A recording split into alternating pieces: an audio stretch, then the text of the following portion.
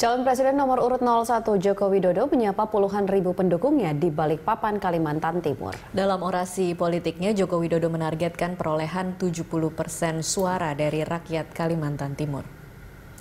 Didampingi Iriana Jokowi, kedatangan calon presiden nomor urut 01 Joko Widodo di Balikpapan, Kalimantan Timur disambut meriah dan antusias oleh puluhan ribu pendukungnya di gedung Dom Balikpapan.